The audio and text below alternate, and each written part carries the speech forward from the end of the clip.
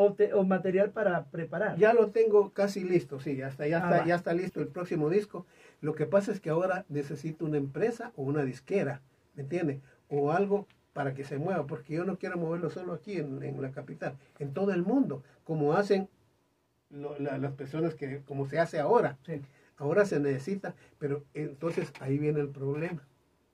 Invierten un dineral algunas personas, pero, pero millones de dólares. Claro, por eso todos esos eh, que, que pegan es porque hubo alguien que invierte en ellos, que invierte Claro. y lo hacen que pegue. Aunque y no lo visten algunos. bien, lo maquillan bien, ¿Verdad? lo, pues, sí. Entonces lo hacen, lo- solo tiene que tener un poco de talento y empujarlo. ¿Saben cuál es la forma? Si no te has dado cuenta, date cuenta ahora.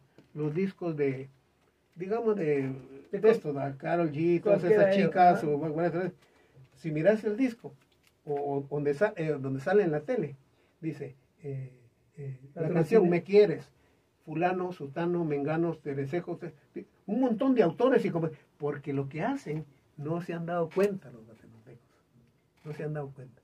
Primero, hay que unirse todos y apoyarse uno al otro. Y segundo, ok, Kevin tiene un estudio aquí, colabore conmigo en hacerme los arreglos, colabore con Red, y, y viene y compartimos las regalías, Kevin. Viene otro músico y va a compartir, mira que el arreglista, que alguien que arreglo, pongo, un, no tengo dinero para pagarte, Pero pero te pongo aquí y compartimos. Entonces, si pega el disco, todos ganamos. tocaste un punto, es un punto muy frágil ahí. No tengo para pagarte, pero te voy a poner en los créditos. Es válido, pero si le estás pagando a todo un equipo de, de gente para que te trabaje tu arreglo, yo no creo que, Ah, que- que lógico. no es justo. Estoy diciendo cuando no tienes para producir. Ahí está. Estos, estos, estos muchachos vienen de una barriada y no tienen. Porque entre estos también está el que puso la plata. No participó, pero puso la plata para los músicos, Ahí sí para el estoy de estudio. acuerdo. Entonces, Ahí los sí que participan, a los que se les debe que salga, que exista Son los ese que ayudaron. producto, esos lo que hacen, pues, es como un negocio. Sí. Invierten en el negocio, ¿eh? Una sociedad, entonces, y se, se unen todos, porque se une el que pone la plata, se une el que es promotor y sabe hacer eso, se une el otro que tiene contactos, tiene una empresa que tiene, o sea. Todo eso, y hacen, hacen y todo va a funcionar. Entonces, o sea, ¿y qué, qué viene a ciencia? Ayudarse unos a otros. Todo lo de la No, industria. de, de verdad, Daniel, me da, me da mucho gusto eh, estar platicando con vos porque tocamos puntos muy importantes que aún la gente eh, no los quiere entender. Saben, pero no los quieren entender, ¿verdad? Sí, y muchos no lo saben. O sea Ujú, que, sí. Bueno, pues Daniel, entonces yo pienso que en poco tiempo vamos a estar escuchando el nuevo disco del nuevo álbum o el primer si encuentro sencillo. al promotor o Mm. al... Conmigo contás. Pero necesito un promotor millonario. Ah, O sea, sí, fregaste. porque si no... Pero conmigo contás, vos tiene, sabés. tiene, tiene que tener, y me tengo que instalar en los Estados Unidos. Sí, tenés que regresar. salir. Tienes que regresar a Estados Unidos. Entonces, este, son cosas que no sé, yo, yo quisiera de aquí. Ahora, lo que la gente no sabe, mucha gente no sabe, aún los compañeros, es que yo vivo en Guatemala. sí, vos estás viviendo ya aquí. Aquí sí.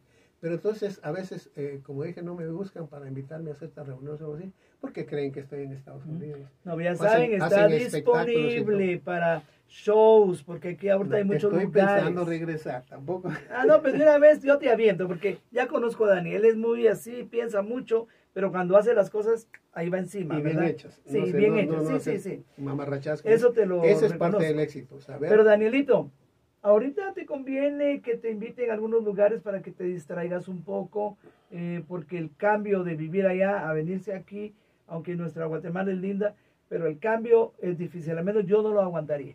Por eso yo solo vengo un Ah, ratito. no, yo paso unos corajes aquí porque Vaya, es, otro mundo, en todo. Yo por eso Es vengo un ratito y me voy de regreso a mi casa. Es lo que seguir hacía antes, yo Sí, venía pues. cada año, pero eh, eh, luego regresaba porque extrañaba. Pero les voy a contar algo que yo he dicho y que es, es como una frase o no sé. Todos los que hemos emigrado, todos los emigrantes, nos echamos una maldición encima. Y eso. ¿Sabes cuál es qué maldición es? Que no seremos felices completamente nunca. Porque podrás tú triunfar en los Estados Unidos, triunfas y estás muy bien, pero no eres feliz completamente porque estás añorando tu tierra. Ah, Estás sí. añorando venir Sí, claro. y luego te vienes y des- te desesperas, te vienes y luego estás aquí, me pasó. a los dos, tres meses estoy desesperado Sí. por irme. Yo a la porque aquí que, que el gobierno que necesita dar una vuelta, que todo se tarda, las calles y todo. O sea, es otro país y entonces añoras allá. Sí. Luego te vas para allá y añoras aquí. O sea, nunca vas a ser completamente feliz. No se está tranquilo. Puede ser que triunfes y seas feliz, pero completamente. Por ejemplo, uno está allá y tiene a su familia aquí. Luego está aquí, tiene a su familia, pues no tiene las comodidades y las Y cosas que tiene allá. negocio Entonces allá. extrañas todo lo El demás trabajo. E- Es una cosa que es bien duro en la vida, pero esa no es culpa de nadie, más que de uno por haber decidido así. Pero entre una cosa y otra somos felices a nuestra manera, cada quien busca la Claro manera de hacerlo. Y ahora pues vamos a hacer eh, eh, el esfuerzo por hacer algo, ojalá, ojalá se pueda llevar a cabo algo. Yo pienso que sí, Daniel, con el conocimiento que tenés, incluso pues eh, le decía yo que pues vuelva a hacer el programa de variedades acá. Tenés a mucha gente aquí que va a querer estar con vos en entrevistas o en producciones. Ah, Vas a poder impulsar a talento nuevo. eso espero, si es lo que te es lo que te interesa como a mí venir a darles el apoyo a, a la nueva juventud pero eh, también guiarlos como debe de ser y que no se esté perdiendo nuestra nacionalidad Sí, es que, es que, ¿Verdad? miren, uno anda, anda siempre, por ejemplo, cuando tú te vas a otro país, llevas a tu país en el corazón y lo llevas. Yo allá hacía algo eh, que era natural. Para mí fue nada normal. En mi casa allá habían dos banderas, la de Estados Unidos y la de Guatemala. Ujú. Así en la, en la mayoría en la de las casas de guatemaltecos allá así así es Pero hay muchos, por ejemplo, a mí sí me molesta, ¿verdad? Eh, molesta ver que hay quienes eh, están en Estados Unidos, viven en Estados Unidos, ¿verdad? Viven de Estados Unidos. Estados Unidos le ha dado educación a sus hijos, tienen buena casa, todo, porque se fueron para allá porque aquí no lo tenían, ¿verdad? Y luego vienen allá y están hablando mal del país, que les da de comer a él y a su familia, y que están bien gracias a eso y vienen y andan en, en- en los desfiles enarbolando la bandera solo de su país. Me imagino que lo del país donde ellos están, no, tiene que ser solo Estados Unidos. Me imagino que los dirán, digamos, qué mal agradecido ese. ¿ah? Está en este país, y ¿verdad? no le da su lugar Y, y- y no le da su lugar y está, ah, me siento orgulloso de ser de tal país, ¿verdad? Entonces, no es así, hay que ser agradecido con lo que. Sí. Eso está como que tú me ayudes a mí, ¿verdad? Y luego, como de alguien aquí que yo ayudé en sus inicios, ¿verdad? Se hizo guatemalteco, ahora es famoso y anda diciendo a los cuatro vientos que le es salvadoreño. O sea, entonces, y no, no reconoce que de, de Sí, dónde fue eh, que se hizo, sí, dónde hizo todo eso. Y eso, eso es el agradecimiento. Entonces, eso es lo que pasa allá, hay que ser un agradecido. Entonces, eh, porque es como insultar al país donde estás, ¿verdad? Es como si voy a tu casa y hago esas cosas, estoy insultando tu casa cuando debía estar agradecido. No sé, espero no crear una controversia en lo que solo estoy diciendo eso, en, en el hecho de, de ser las dos cosas. ¿verdad? Amar y agradecer donde estás y amar y agradecer de dónde vienes. Sí. Nunca olvides tus, tus raíces también. Miren, yo, yo, yo sigo hablando como guatemalteco. Yo también, y- ¿verdad? Y, tengo 40 años fuera, sí. no estamos también. hablando inglés Y estamos, y sí, y sabemos inglés, I have no problem with speaking English. Pero, pero- decir, sí, exacto. Pero, pero verdad, no, no es necesidad. O si no, estamos ya hablando nosotros, porque, oh, ¿qué será esto? Eh, me gusta, gustarme esto. No, mana, yo- somos lo mismo. Yo, en mi casa, en mi casa, sigue siendo un pedacito de Guatemala. ¿verdad? Entonces, mis hijos también. Mi hijo nació en Estados Unidos y cuando él le pregunté, ¿usted es guatemalteco? Sí, igual mis sobrinos son ¿me de aquí O sea, nacieron entonces, sí, o sea, Ah, amamos sí. a nuestra tierra. No solo guatemaltecos, los salvadoreños, los costarricenses, los Todo, peruanos, cualquier los lugar del mundo todos. Y todo el mundo dice, mi país es el más lindo del mundo. Eso es natural.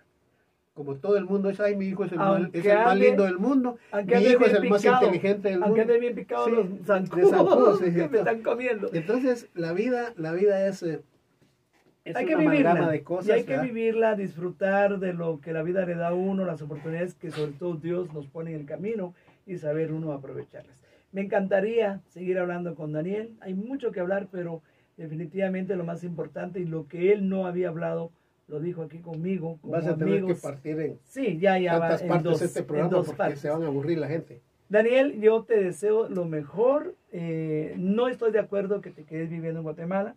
Eh, estoy de acuerdo en que vengas una temporada y regreses a trabajar allá. Eso quisiera yo. Sí, yo- lo vas a poder hacer. vivir aquí. Yo quiero, yo quiero ser como la leona de dos mundos. O sea, soy la leona de dos mundos. ¿verdad? ¿Te acuerdas El león. Esa, el león, pero Sí. en este caso es porque es famosa la Sí, película esa. la película. eh, la leona de dos mundos. Entonces, este, nosotros tenemos dos mundos. Por ejemplo, eh, yo, otra cosa que digo yo es que, si se dan cuenta, o sea, análisis que yo hago de mi vida, el hombre se hace hombre después de los 30 años. Antes de los 30 años es un joven maduro.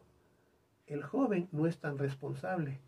El, el joven, y en, en 25, en 6, 78, 29, es, es, es em, maduro, pero todavía, todavía no es un hombre o una persona. Después de los 30 es cuando tú ya empiezas a interesarte en política, ya empiezan a interesarte en, en- en- en- ya tienes hijos, ya te casas, ya tienes una responsabilidad, ya empiezas a ser hombre. Antes eras un hombre maduro, joven, entonces no eras responsable en sí de todo. ¿va? Hay mucho que no pasa, pero cuando ya empiezas, y eso yo empecé a hacer en, allá. Por eso, e- entonces yo me hice persona ¿verdad? de ese, de ese ya en los Estados Unidos. Sí. Y por eso tengo mucho de las costumbres. de- Yo ya era así, yo no me convertí como soy, no es porque me hicieran, yo ya era así. Pero fui a caer a un lugar donde caí donde te Sí, perfeccionaste. exactamente, Sí. pero ya, ya la cosa es que Encontraste que uno- tu, tu modo. uno a moldarse se amolda. Entonces, he aprendido muchas cosas y también puedo ver la diferencia. Hay gente que aquí es feliz y nunca ha ido en ninguna parte, sin embargo se queja de las cosas. No, este país, todo eso, que la corrupción, que no sé qué. Imagínense cómo nos cuesta a nosotros que venimos de un lugar donde todo se arregla en media hora, Claro. no en dos, tres semanas ni un año. Exacto. Pues sí, Nos cuesta más. pues sí, pues Daniel, muchísimas gracias por tu espacio, por tu tiempo. Este fue tu. Pero ahora yo quiero entrevistarte, gracias.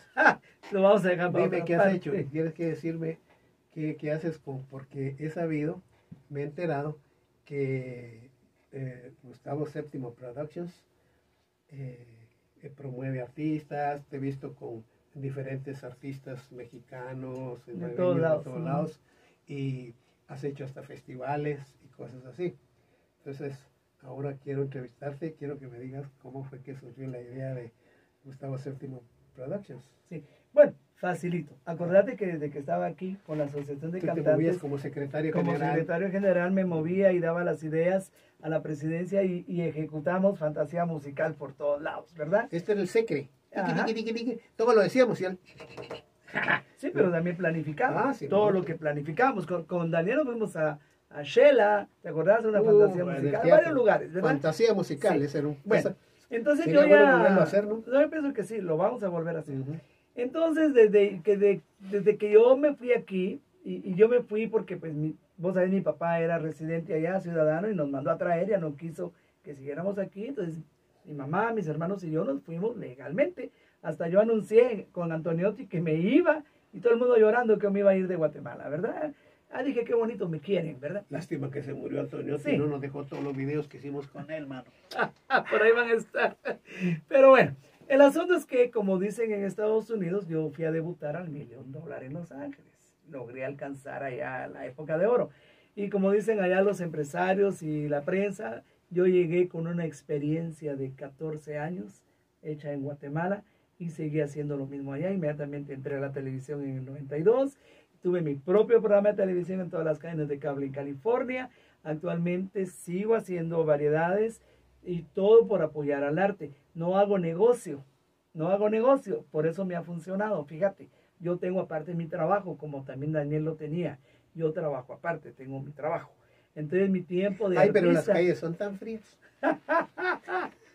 bueno, el asunto es que gracias a Dios me, me he puesto en un, en, una, en un lugar en que la gente me quiere, me respeta y cree en lo que hago. Y de ahí pues surge el G7 Awards en el 2005, que son los premios que yo doy al artista guatemalteco en el extranjero.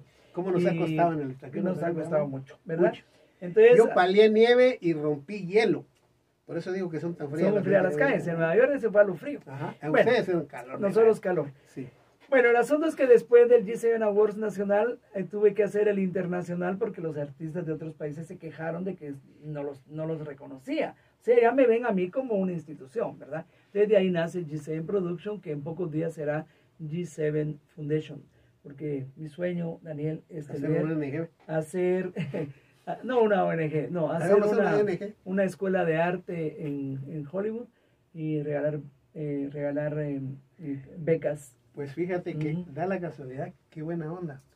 Yo también he tenido esta idea aquí de eh, institucionalizar un, un, como tienen el Grammy, como tienen Sí. eso, hacer aquí un programa que festeje y premie al artista que ha destacado, que Sí. se ha destacado en el año, ¿me entiendes? Sí. En diferentes áreas, como institución. Hacer, ah, bueno, inventar Ah, esa ah, onda, hay que como un- hacerlo. hacer un, un trofeito ahí, ¿verdad? Que Hay no que es tanto hacerlo. lo que, sino que lo que significa, ¿me entiendes? Sí. Yo tengo algunas experiencias allá que te, después te puedo pasar Bueno, si quieres. Pues Daniel, el Ujú. G7 Awards se va a hacer este año aquí.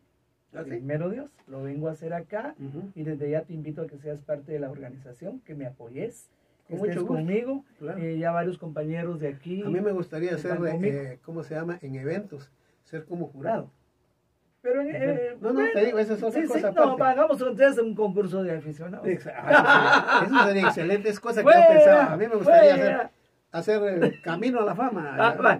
Ya vieron, tiene tantas ideas, Daniel. Sí. Bueno, yo no hablé mucho de mí Ya porque tengo no me gusta hablar de mí. Pero gracias, Daniel. Por eso te saqué la sopa, Sí, por eso te saqué la sopa. Pero estamos trabajando bien, vuelvo a hacerlo, yo lo hago por amor al arte. Eh, ahora sí que amo el arte de todo el mundo. He sido reconocido por diferentes países, tengo puestos muy importantes, ¿verdad? Vitalicio, soy embajador de varios países, soy ciudadano de honor de varios países. Y Pues, pues, ahora qué que decís bonito. eso, te voy a decir una cosa. Me falta la orden del Quetzal, nada más. Right. Yo hice, yo hice la, la yo hice una mi frase que la incluí en, el, en el, la propuesta del artista nacional, el apoyo al artista, ¿cómo Sí. se llama? Pensando que para esto deberían de hacer cuando el artista llega a grande, sería bueno que los gobiernos pusieran algunos artistas como embajadores, el embajador de Guatemala en las Naciones Unidas, el embajador en. Washington, algo así. Porque quiere que les diga una cosa, el mejor embajador de un país es, Es el, artista el artista. popular. Exacto, yo lo he Mira, dicho. por ejemplo, yo le pregunto a la gente, yo te digo a ti ahorita en este momento, vamos a hacer la prueba. Vamos a ver, les cuento que ahí nos está colaborando el director general que es Kevin. Kevin, dígame usted el nombre del, del embajador de Perú. No, pues no me lo sé. No lo sabe. Dígame el nombre del embajador de México. Tampoco, Dígame un nombre del embajador de Colombia. tampoco. Ok. Dígame el nombre de un artista popular famoso mexicano. Don Vicente Fernández. Ahí va. Es Juan Gabriel. Juan Juan Gabriel. Gabriel. Ok. Dígame el nombre de un artista famoso colombiano o artista, hombre o mujer colombiano. Juanes. Juanes, Shakira. Shakira. eh, va. Dígame el nombre de un, de un cantante famoso. Bueno, así. ¿Se dan cuenta, amigos? El mejor embajador. Porque cuando usted ve, eh, dígame entonces, el mejor embajador de un país Es es, un- el artista. Por es eso ustedes, artista. artistas, tienen que portarse bien porque ustedes Y dar una buena son, imagen. El, son el representante de su país. Exacto. Si usted, si usted es un mamarracho, está representando a su país, de la imagen que usted está dando. Sí. A eso es lo que quería yo decir. Y, y esa es la frase, porque el mejor embajador de un país es el artista Sí, popular. estoy de acuerdo con vos.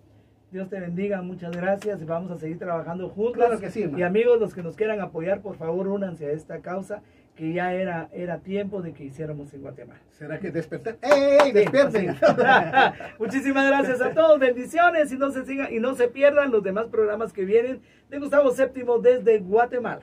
Hasta pronto. Chao.